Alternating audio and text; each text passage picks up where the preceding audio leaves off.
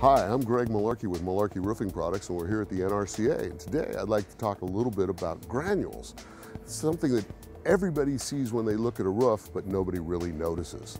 Granules actually have four functions that they need to perform. First is asphalt ages because of UV rays from the sun.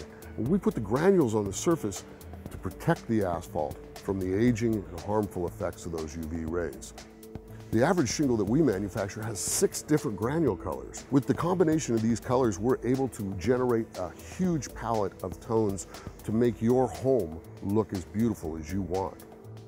When a roof is being installed, one of the things that's important is that the granules stay on the shingle so that that work surface is not dangerous for the roofing contractor. At Malarkey, we pay a great deal of attention to granule adhesion as a safety aspect for our contractors.